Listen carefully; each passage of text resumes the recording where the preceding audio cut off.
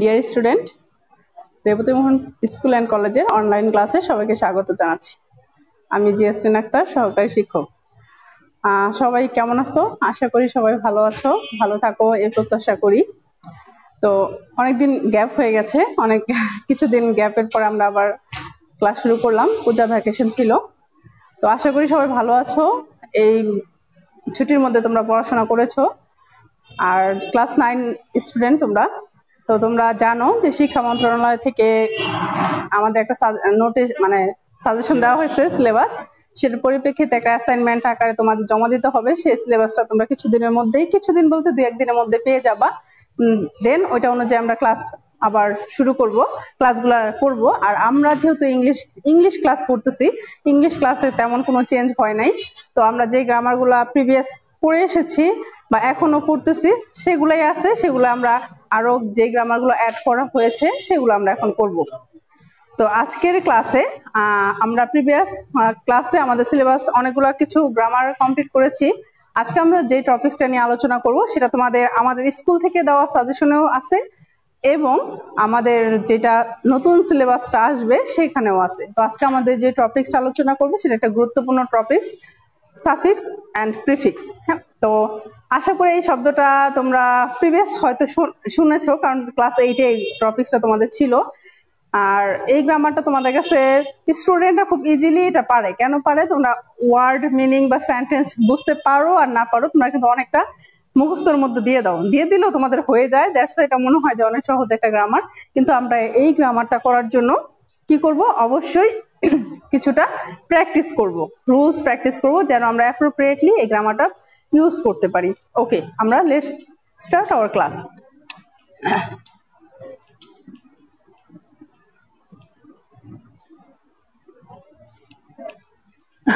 আচ্ছা সাফিক্স এবং প্রিফিক্স এটা কি? আমরা জানি গ্রামার বাংলা গ্রামার বলো ইংলিশ গ্রামার বলো, দুইটা হচ্ছে অল্টারনেটিভ তাই না? তুমি যদি বাংলা গ্রামার ভালো পারো ইংলিশ গ্রামার দেখবা, তোমার কাছে সহজ মনে হবে। বা ইংলিশ গ্রামারের সাথে বাংলা একরকমই থাকে। কিছুটা হয়তো বা অর্থ মানে কিছুটা চেঞ্জ থাকে, তাছাড়া প্রায় এক। যেমন তোমরা বাংলাতে উপসর্গ করে আসছো। উপসর্গ বিষয়টা কি? যেহেতু আমি ইংলিশটা শুরু করার আগে আমি একটু বাংলাটা টাচ করব। কেন বাংলাটা টাচ করব? কারণ হচ্ছে তোমরা যেন বুঝতে পারো, কারণ যেহেতু বাংলা আমাদের মাতৃভাষা, বাংলা জিনিসটা তুমি যদি মাথায় ক্যাপচার থাকে, তুমি ইংলিশটা খুব সহজে ক্যাপচার করতে পারবা। যেমন প্রিফিক্স প্রিফিক্স মানে হচ্ছে প্রিফিক্সের বাংলা কি? উপসর্গ, তাই না? উপসর্গ। আচ্ছা উপসর্গ বলতে আমরা কি বুঝি, তাই না? উপসর্গ বলতে আমরা বুঝি যে শব্দগুলা, যে শব্দ গুচ্ছ শব্দের আগে বসে। কি বসে? কোথায় বসে? শব্দের আগে বসে। শব্দের আগে বসে কি করে? অর্থ চেঞ্জ করে, পরিবর্তন করে, তাকে কি বলা হয়? কি বলা হয়? প্রিফিক্স বা বাংলায় আমরা কি বলতে পারি? উপসর্গ। তো বাংলার প্রিফিক্সের একটা উদাহরণ দিই, তাহলে তোমরা ইংলিশটা আরও বুঝতে পারবা। যেমন আমরা, যেমন তোমাদের কিছু উপসর্গ যারা পড়ছো বাসায়, তোমরা বাংলা জানো যে বাংলা উপসর্গ কিছু শব্দ আছে যেগুলা দিয়ে উপসর্গ করা হয়। যেমন বাংলা উপসর্গ তিন প্রকার। খাঁটি বাংলা তৎ তারপরে কি? তৎসম বা সংস্কৃত এবং বিদেশি। তো তোমরা জানো যে কিছু শব্দ, যেমন pro.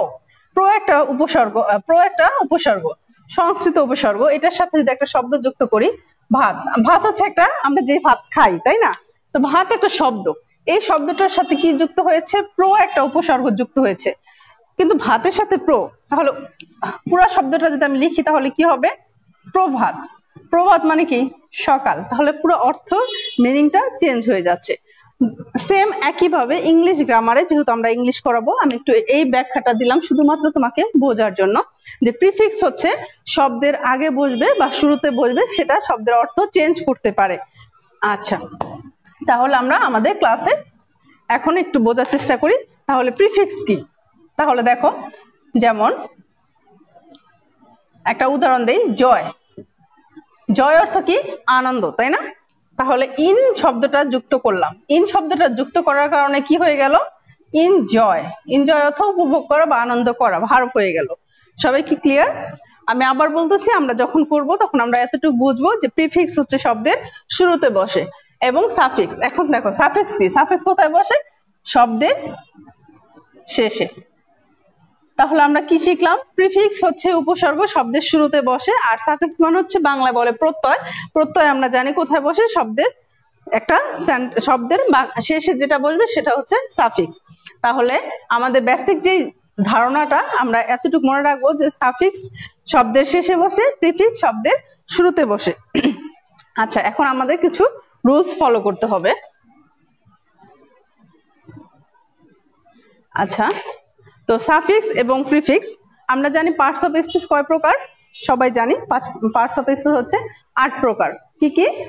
Noun pronoun verb adjective adverb preposition conjunction interjection এর মধ্যে, আট প্রকারের মধ্যে চার প্রকার আছে। চার প্রকার হচ্ছে যে রুট বা বেস বলি বেস ওয়ার্ড যেগুলো কোনো চেঞ্জ হয় না। কোনগুলো চেঞ্জ হয় না, বলতো? যেমন pronoun PR pro UN pronoun কি আমরা কখনো চেঞ্জ করতে পারব? আমরা ছেলের পরিবর্তে হি লিখলাম, তাই না? রকমের পরিবর্তে হি লিখলাম। আমরা কি হি কখনো চেঞ্জ করতে পারব? অবশ্যই না। প্রোনাউন তারপর হচ্ছে প্রিপোজিশন প্রিপোজিশন প্রিপোজিশন কি অফ ইন টু হ্যাঁ প্রিপোজিশন কি চেঞ্জ করতে পারব? অবশ্যই না। কিন্তু এগুলা কোনো ওয়ার্ডের চেঞ্জ কখনোই হয় না। কোনটা কোনটা হয় না? প্রোনাউন প্রিপোজিশন কনজাংশন ইন্টারজেকশন কি কি বলছি? প্রোনাউন প্রিপোজিশন কনজাংশন ইন্টারজেকশন এই চারটা শব্দ আমরা কখনোই চেঞ্জ করতে পারব না। ঠিক আছে? এই চারটা শব্দ কি কি বলে? এই শব্দকে বলা হয় সাবসিডারি ওয়ার্ড এই এই শব্দগুলা কি কি বলা হয়? সাবসিডারি ওয়ার্ড আর যেই চারটা, বাকি থাকল কোনটা? চারটা। তাহলে বেস ওয়ার্ড বা রুট যেটা, মূল যেটা চেঞ্জ হয়, সেই শব্দগুলা কি কি? তাহলে নাউন তারপর হচ্ছে অ্যাজিটিভ ভার্ব অ্যাডভার্ব তাহলে কয়টা? তাহলে আমরা এই চারটা পরিবর্তন যখন করতে পারব, তখনই আমরা ইনশাল্লাহ সাফিক্স প্রিফিক্স প্রপারলি চেঞ্জ করতে পারব। তাহলে আজকে আমরা এই চারটা পরিবর্তন করা শিখব। আচ্ছা আর আমরা জানি যে যখন আমরা সেন্টেন্স করব সেন্টেন্স করার সময় যে আইডেন্টিফাই করা সেন্টেন্স এটা খুব একটা ইম্পর্টেন্ট সেন্টেন্স থেকে একটা ওয়ার্ড তোমাদের ফার্স্ট পেপারে ওই কোশ্চেনটা আসে যেমন একটা ওয়ার্ড দিয়ে বলল, এটা কোন কোন ফর্মে আছে, কোন পার্টস অফ স্পিচের ফর্মে আছে যে এটা নাউন আছে অ্যাজিটিভ আছে ভার্ব না অ্যাডভার্ব তো এই চারটা আইডেন্টিফাই করো। এরকম প্রায় কোশ্চেন আসে তোমাদের। Not only in your first paper exam শুধুমাত্র তোমার ফার্স্ট পেপার এক্সামে আসে না ইভেন তুমি অ্যাডমিশন টেস্ট বলো বা এক্সাম জব এক্সাম বলো যে কোনো পরীক্ষায় এই টপিক্সটা খুব গুরুত্বপূর্ণ যে আইডেন্টিফাই করা। যেটা কি নাউন না প্রোনাউন নাউন কোনটা অথবা অ্যাডজেটিভ কোনটা বা ভার আর আরেকটা বিষয় আমরা খেয়াল রাখব যে একই শব্দ, শব্দটা এক সেন্টেন্সের ব্যবহারের ক্ষেত্রে ওয়ার্ডটা যেভাবে ব্যবহৃত হচ্ছে, বাক্যটা সেটা চেঞ্জ হয়ে যায়। আমি একটা উদাহরণ দিই, তাহলে একটু ক্লিয়ার হবা দেখো, যেমন ওয়াটার মানে কি? আমরা সবাই জানি ওয়াটার হচ্ছে পানি, তাই না? ওয়াটার মানে কি? পানি। এবং এটা কোন, এটা অবশ্যই যেহেতু একটা নাম, তাহলে এটা কি? কোন পার্টস অফ স্পিচ যে কোনো নামকে নাউন বলে। তাহলে এটা কোন পার্টস অফ স্পিচ আছে? নাউন আছে। এটা সবাই যেন নাউন কিন্তু আমি এখন সেন্টেন্স ইউজ করার ক্ষেত্রে আইডেন্টিফাই করব এটা নাউন নাকি কোন পার্টস অফ স্পিচে আছে? আমরা একটু ব্যাখ্যা করার চেষ্টা করি। যেমন ওয়াটার হ্যাজ নো কালার কি লিখছি? ওয়াটার হ্যাজ নো কালার এখানে ওয়াটার তাই না? আরেকটা বাক্য লিখছি লিখি। আই ওয়াটার দ্য প্ল্যান্ট আচ্ছা দেখো ওয়াটার শব্দটা আমি দুইটা সেন্টেন্সে দুইটা জায়গায় ইউজ করেছি। একটা বাক্যের ফার্স্টে আর একটা সাবজেক্টের পরে। তো এই জিনিসগুলো আমি যখন আইডেন্টিফাই করতে পারব যে কোনটা কোন পার্টস অফ স্পিচ তখন কিন্তু আমার জন্য খুব সহজ হবে যে বের করা যে আমি চেনাটা খুবই সহজ হবে যে বাক্যে যেভাবেই থাকুক না কেন, এক নাউন কোথায় কোথায় বসে ভার কোথায় কোথায় বসে, যখন আমি এটা শিখতে পারব, তখন কিন্তু আমরা খুব সহজে আইডেন্টিফাই করতে পারব। এখন দেখো, বাক্যের শুরুতে সবসময় নাউন বসে। নাউন কোথায় বসে? বাক্যের শুরুতে। তাহলে এটা নাউনের কাজ করছে, তাই না? ওয়াটার তাহলে এটা নাউন তাই না? আর ওয়াটার দ্য প্লান্ট এখানে সাবজেক্টের পরে কি আছে? ওয়াটার আছে। এটা এই, এটা কি এখন আর ওয়াটার নাউন আছে? অবশ্যই না। এটা কি হয়ে গেছে? ভার্ভ হয়ে গেছে। আমরা একটু বোঝার চেষ্টা করি ডিয়ার স্টুডেন্ট একই শব্দ, দুইটা শব্দের চেহারা একই রকম ওয়াটার এটাও ওয়াটার কিন্তু শুধুমাত্র ব্যবহারের পার্থক্যর কারণে দুইটা দুইটা রূপ চেঞ্জ হয়ে গেছে। একটা হয়ে গেছে নাউন আর একটা হয়ে গেছে ভার্ব সো আমরা এই সাফিক্স প্রিফিক্স যখন শিখব, এটা শেখার একমাত্র কারণ হচ্ছে যে আমরা সুন্দরভাবে সেন্টেন্স থেকে ওয়ার্ড আইডেন্টিফাই করতে পারব, যেন এইভাবে শিখব যে কোনটা কোন পার্টস অফ স্পিচ এটা যেন আমরা নির্ণয় করতে পারি। এবং তোমাদের বাক্যে, তোমাদের তো একটা প্যাসেজ আকারে আসবে, তখন প্যাসেজ আকারে আসলে তোমরা সুন্দরভাবে যে কখন কোন শব্দটা ব্যবহার করা উচিত, তোমরা ইজিলি বুঝতে পারবা। ওকে আমরা ক্লাস আমরা আজকে নাও প্রথমে নাউন দিয়ে শুরু করব।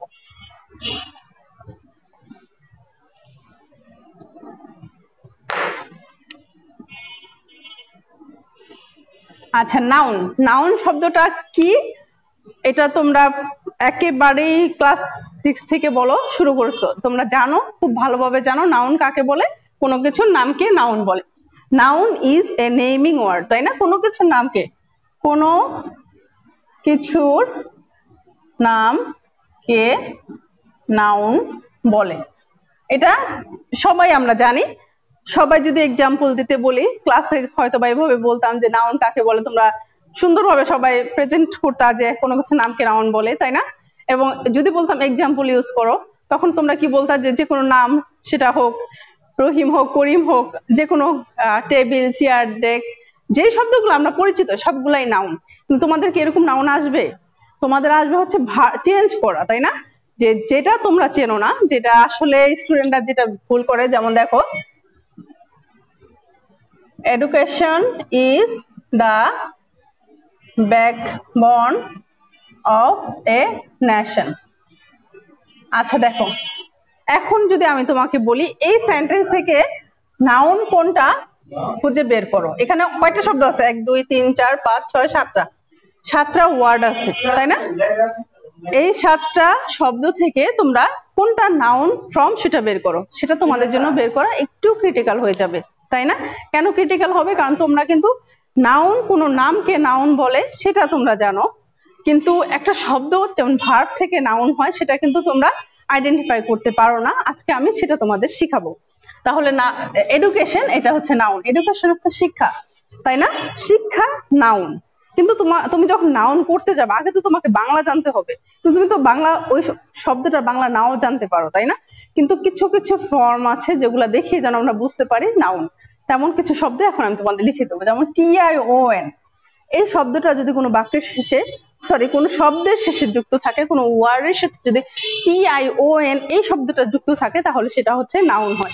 তাহলে কি এখন ইজিলি তোমরা বের করতে পারবা? তাহলে education noun nation noun clear আমার কথা? আচ্ছা আমি আবার বলতেছি যে আমরা নেমিং ওয়ার্ড যে কোনো নামকে নাউন বলতে পারি বাট আমাদের কথা হচ্ছে যে আমরা যখন ভার্ব থেকে বলবে তোমাকে নাউন করো, যেমন অ্যাচিভ অ্যাচিভের কি হবে? অ্যাচিভমেন্ট নাউন করো। সেই ক্ষেত্রে তোমার জন্য একটু ক্রিটিক্যাল হয়ে যাবে, তাই না? তো আমরা কিছু শব্দ বা কিছু ফর্ম ইউজ করে নাউন করা যায়, সেই শব্দগুলো এখন আমরা লিখব, যে একটু তোমরা খাতা সেটা লিখে নিবা, যে কোন কোন শব্দগুলা যুক্ত হলে নাউন হয়।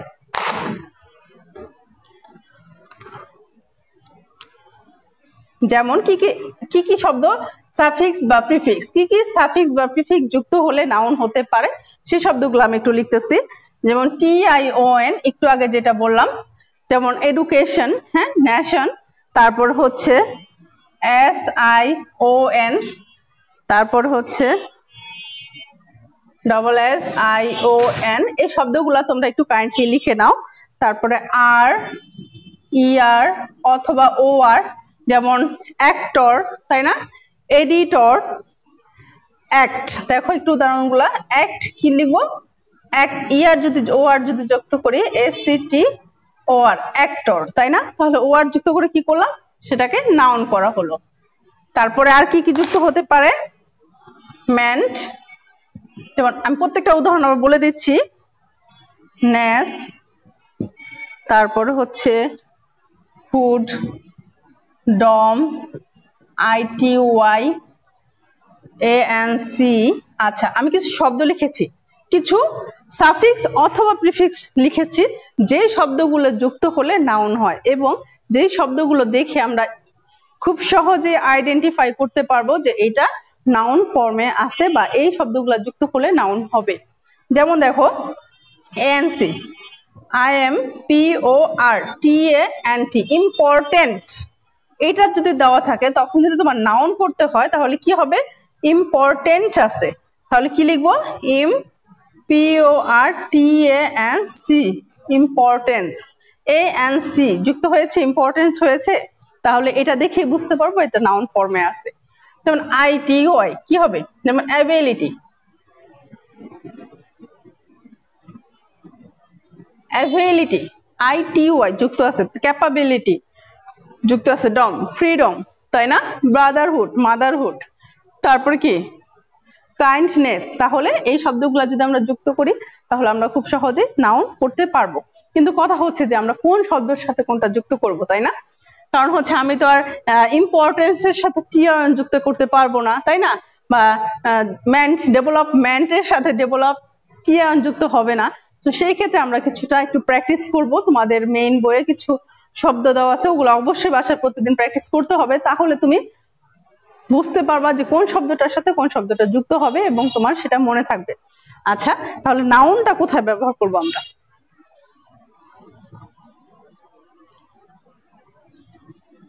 আচ্ছা নাউনের ব্যবহার নাউনের ব্যবহারটা আমরা কীভাবে করব? আমাদের নাউন কোথায় কোথায় বসে বা কোথায় কোথায় ব্যবহার হয়, এটা জানলে আমরা কি করব? ওই অনুযায়ী একটা সেন্টেন্সে নাউন ফর্মটা বসাতে পারব। আচ্ছা আমরা শুরুতে আমরা লিখতেছি নাউন সবসময় বাক্যের সাবজেক্ট হিসাবে ব্যবহৃত হয়। কোথায় হয়? বাক্যের সাবজেক্ট হিসাবে। অথবা অবজেক্ট হিসাবে ব্যবহৃত হতে পারে, তাই না? তাহলে কিন্তু সাবজেক্ট মাস্ট অবজেক্ট না থাকলেও সাবজেক্ট হিসাবে বাক্যের শুরুতে অবশ্যই কি থাকে? নাউন ব্যবহার করা হবে। সেকেন্ড তারপরে কি লিখতে পারি? আমরা জানি প্রিপোজিশন প্রিপোজিশনের পর নাউন সাধারণত ম্যাক্সিমাম সময় নাউন হয়। প্রিপোজিশন যদি একটা থাকে, আমরা যখন চেঞ্জ করতে যাব, আমি যখন তোমাদের প্র্যাকটিস দেখাবো, যদি কোনো শব্দ থাকে যেমন এরকম আছে the process of dash DE V P এরকম তোমাদের একটা শব্দ দেওয়া আছে অফ ডেভেলপ তাহলে অফের পরে আমরা কি লিখব? অফ তো একটা প্রিপোজিশন তার প্রিপোজিশনের পর নাউন ফর্ম করার চেষ্টা করব। তাহলে কি হবে? ডেভেলপ আনসারটা কি হবে? Ment development the process of development okay তাহলে আমার মনে হয় তোমরা এটা বুঝতে পারছ যে প্রিপোজিশন যদি কোনো শূন্য স্থানের আগে, কোনো গ্যাপের আগে যদি কোনো প্রিপোজিশন থাকে যে কোনো প্রিপোজিশন তাহলে আমরা এরপর ফর্মটা নাউন করার নাউন করব। তারপরে তিন নাম্বার হচ্ছে প্রিপোজিশন দা। দা, এই যে দা আর্টিকেল দা এর পরে সবসময় নাউন ফ্রেজ হয় বা নাউন হয়, এটা আমরা মনে রাখব। দা এর পর কি হয়? নাউন হয়। আচ্ছা তাহলে আর কি ইউজ করব, লিখব? Hour their my his her our there his my, her, এই শব্দগুলা যদি গ্যাপের আগে থাকে, তাহলে এই পরে যে শব্দটা বসাবো, সেটা অবশ্যই নাউন ফর্ম হবে। এরপরে কি হবে? এর পর নাউন হয়। এবং লাস্ট ওয়ান হচ্ছে, আমরা জানি অ্যাজিটিভ যদি থাকে অ্যাডজেটিভের পর নাউন হয়। কারণ হচ্ছে অ্যাজিটিভ কার দোষগুণ বলবে? কোনো নাউন অথবা প্রোনাউন তাই না? তাহলে অ্যাডজেটিভের পরে যে শব্দটা বসবে, সেটা অবশ্যই যেমন বিউটিফুল বার্ড পাখি, এটা নাউন তাহলে এটার আগে কি, যে শব্দটি আসুক না কেন অ্যাডজেটিভ হবে। আচ্ছা আমি এই পাঁচটা উদাহরণটা আবার একটু বলতেছি। যে নাউনের ব্যবহার এখন আমরা যখন বাক্যে নাউনের ব্যবহারটা করব, কীভাবে করব, তাই না? আমরা জান, কিছু শব্দ জানি আফিস বা প্রিফিক্স আমি কিছু শব্দ লিখে দিয়েছিলাম, যে এই শব্দগুলো অ্যাড করার পরে সেটা কি হবে? নাউন হবে। তোমরা নাউন আইডেন্টিফাই করতে পারবা।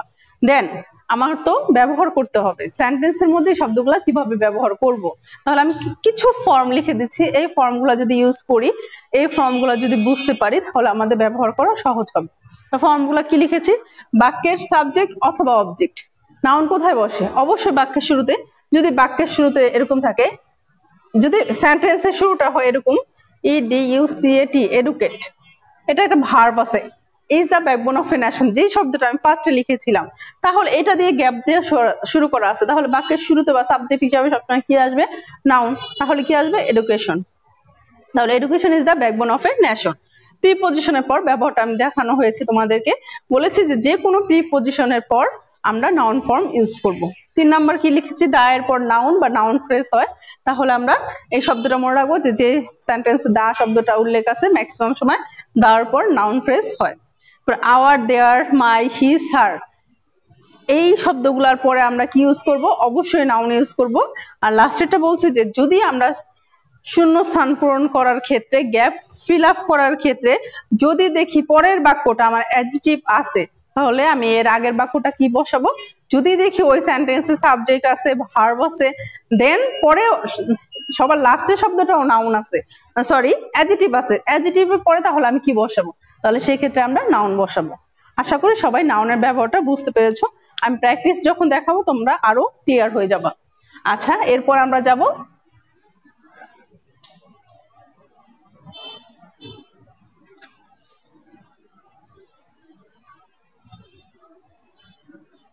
আচ্ছা নাউন, নাউনের পর আমরা কি করব?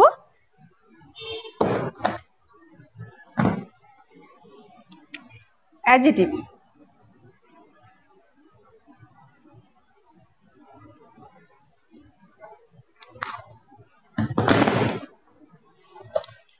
আচ্ছা অ্যাজিটিভ কাকে বলে?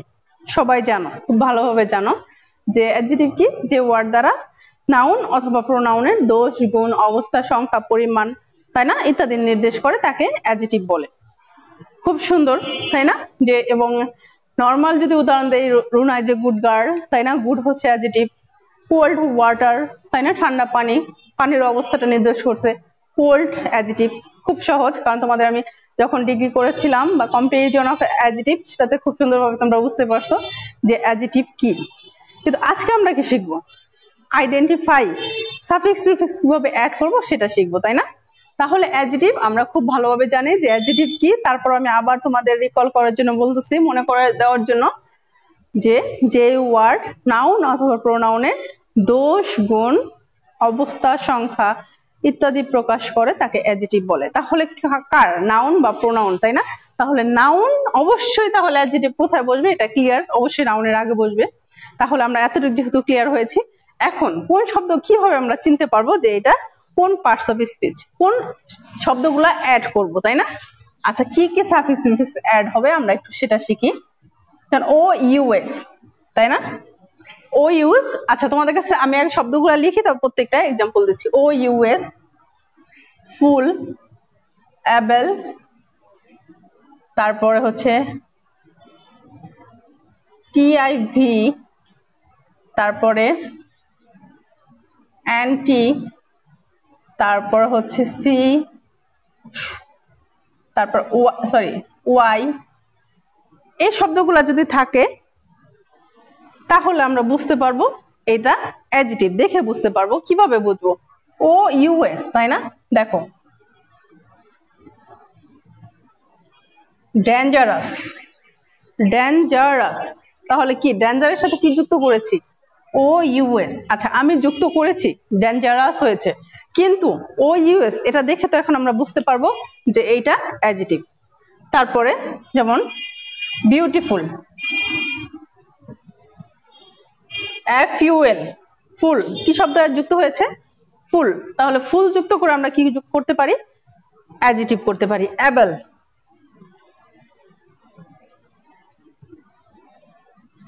কমফোর্টেবল তাই না? কমফোর্টেবল অ্যাবেল শব্দটা যুক্ত করেছি।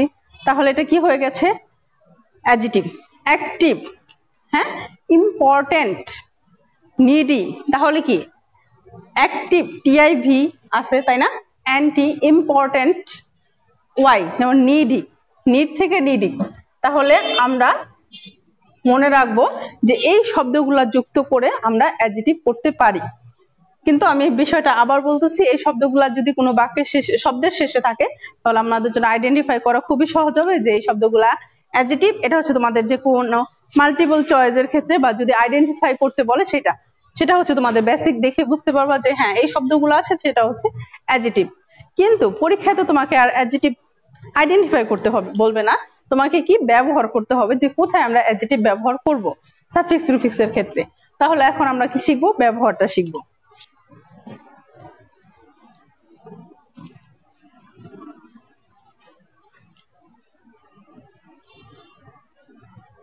আচ্ছা অ্যাডজেটিভের ব্যবহার। অ্যাডজেটিভ এর ব্যবহার। আচ্ছা ফার্স্ট আমি এখানে দুইটা রুলস ফলো করতেছি। যে অ্যাডজেটিভ কোথায় বসতে পারে? আমি ফার্স্ট বাক্যে বলে দিয়েছি অ্যাডজেটিভ কোথায় বসে? কাকে বলে? নাউন বা প্রোনাউন তাহলে অবশ্যই কোথায় বসবে? নাউনের আগে। কোথায় বসবে? তাহলে অ্যাডজেটিভ নাউনের আগে। নাউন অথবা কার? প্রোনাউন তাহলে অ্যাডজেটিভ আমরা কোথায় বসাবো? নাউন অথবা প্রোনাউনের আগে আমরা অ্যাডজেটিভ বসাবো। সেকেন্ড হচ্ছে তাহলে না অ্যাডজেটিভ তাহলে আর কোথায় বসবে? যেমন আমরা যদি একটা উদাহরণ লিখি। Runa is a beautiful girl এই বাক্যে রুনা হচ্ছে সাবজেক্ট তাই না? বাক্যের একটা সাবজেক্ট থাকবে এবং আমরা জানি সাবজেক্ট সবসময় নাউন হয়। তাহলে রুনা নাউন ইজ কি? ভার্ব তাই না?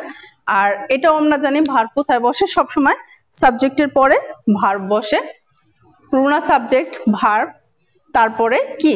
এটা আর্টিকেল আছে, তারপর কি? বিউটিফুল তোমরা জানো এফ ইউ এল যুক্ত হলে সেটা অ্যাজিটিভ হয়ে যায়। আর বিউটিফুল এটা অ্যাজিটিভ এটা এমনিতেই জানো, তাই না? আর গার্ল হচ্ছে নাউন তাহলে গার্লের আগে কি বসছে? অ্যাজিটিভ বসছে। তাহলে আমরা কি লিখছি? নাউন বা প্রোনাউনের আগে কি বসবে? অ্যাজিটিভ বসবে। এবং লাস্ট আরেকটা কি বলতে পারি? ভার্বের পরে কি বসতে পারে? অ্যাজিটিভ তাই না? ভার্বের পরে অ্যাজিটিভ হবে। হতে পারে ম্যাক্সিমাম হয়। ঠিক আছে? কারণ ভার্ব একটা সেন্টেন্স শুধু সাবজেক্ট ভার্ব দিয়েও শেষ হয়। এরপরে যদি এক্সটেনশন আনার প্রয়োজন হয়, তাহলে আমরা একটা অ্যাডজেটিভের প্রয়োজন হলে তাহলে সেটা অবশ্যই ভার্বের পরেই বসবে। আচ্ছা তাহলে আমার মনে হয় তোমরা অ্যাডজেটিভটা ক্লিয়ার এই দুটো একটু লিখে নাও, তাহলে আমি আবার একটু রিপিট করতেছি অ্যাডজেটিভ কি অ্যাডজেটিভ হচ্ছে যে ওয়ার্ড নাউন বা প্রোনাউনের দোষগুণ অবস্থার সংখ্যা নির্দেশ করে, তাকে অ্যাডজেটিভ বলে।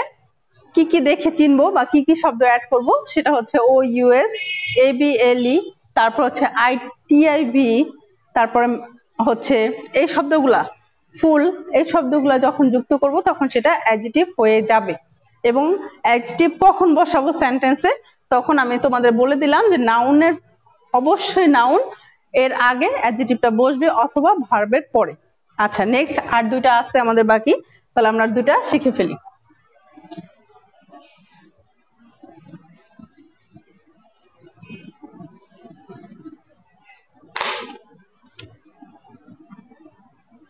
ভার্ব। ভার্ব কি? ভার্ব তো একটা ক্রিয়া, তাই না? ক্রিয়া মানে কি? কাজ। ভার্ব হচ্ছে একটা গুরুত্বপূর্ণ বিষয় যে ভার্ব ছাড়া কখনো একটা সেন্টেন্স হওয়া সম্ভব না না? তাহলে যে ওয়ার্ড দ্বারা কোনো কিছু করা বোঝায়, যে ওয়ার্ড দ্বারা কোনো কিছু করা, হওয়া, খাওয়া, করা ইত্যাদি বোঝায়, তাকে কি বলে? কাজ বলে, তাই না? তাকে কি বলে? ভার্ব বলে। তো ভার্ব আমরা চিনি খুব সহজে, কারণ ভার্ব ছাড়া বাক্য হয় না। তো ভার্ব কি কি যুক্ত হয়ে ভার্ব হয়, তাই না? কি কি যুক্ত হবে, সে অ্যাড সাফিক্সগুলো লিখে দিচ্ছি ইএন ইএন এই শব্দটা যুক্ত হতে পারে এফ ওয়াই এই শব্দটা যুক্ত হতে পারে, তারপর হচ্ছে আই এস সি কয়টা শব্দ লিখেছি? তিনটা। এই তিনটা শব্দ যুক্ত করে আমরা ভার পড়তে পারি, তাই না? যে ভার কিন্তু তোমরা চেনো, তাই না? যে এম ইজ আর হওয়া জয় এগুলো হচ্ছে অক্সিলারি ভার মডেল তিন মডাল ভার্ব হচ্ছে can could shall should may might will would এগুলো হচ্ছে মডাল ভার্ব তাই না? তারপরে মূল ভার্ব আছে, অনেক ভার্ব আছে, কিন্তু যেটা মূল ভার্ব সেটাই তো আমরা চেঞ্জ করব, তাই না? কিন্তু চেঞ্জ করার প্রয়োজন এতদিন হয় নাই, কিন্তু সাফিক্স প্রিফিক্সে আমরা যেহেতু চেঞ্জ করব, তাহলে কীভাবে চেঞ্জ করব একটু দেখো। তোমার পরীক্ষায় দেওয়া থাকতে পারে I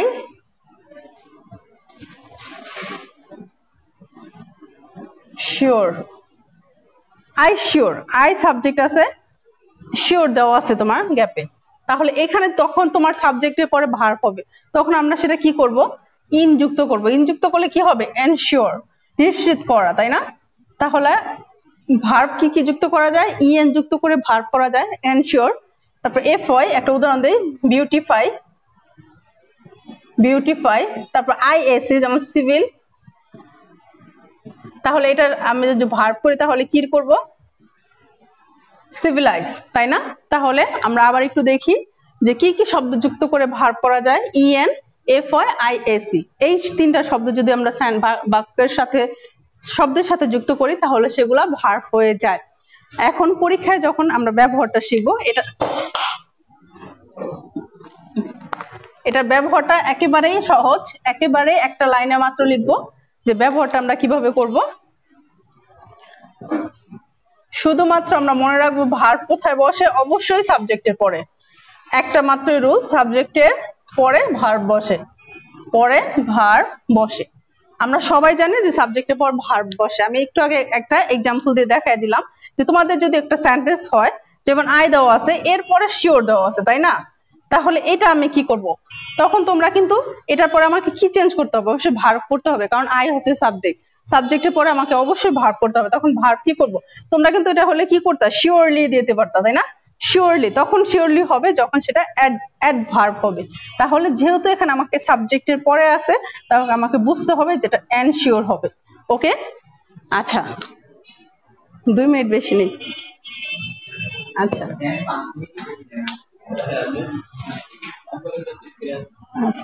তাহলে আমরা ভার্ব ক্লিয়ার লাস্ট একটা আছে অ্যাডভার্ব এটা শেষ করব, এটা দিয়ে আমরা আজকে শেষ করব।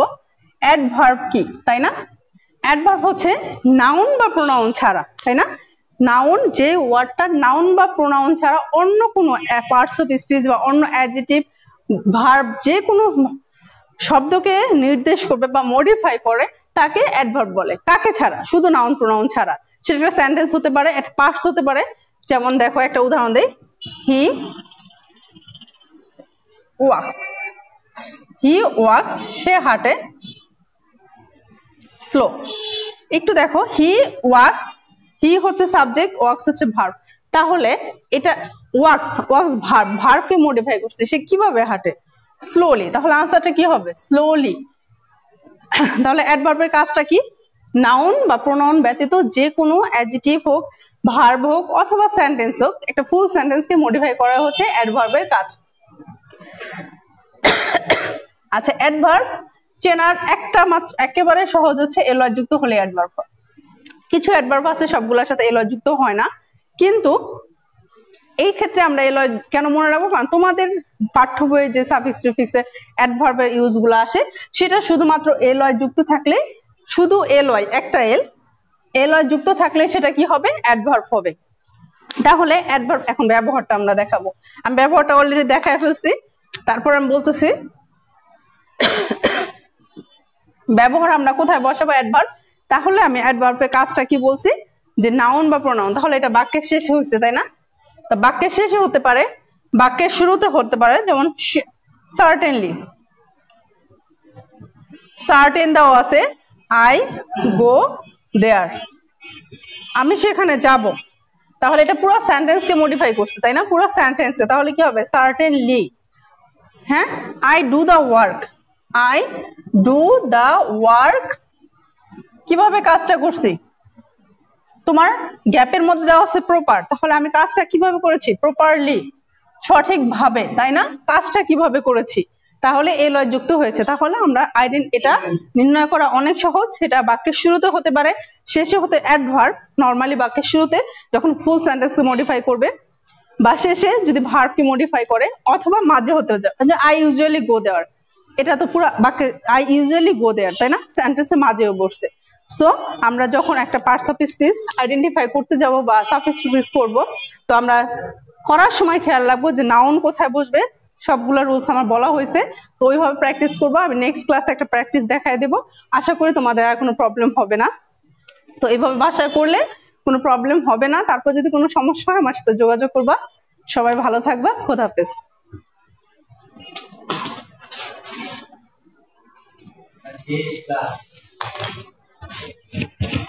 Yes.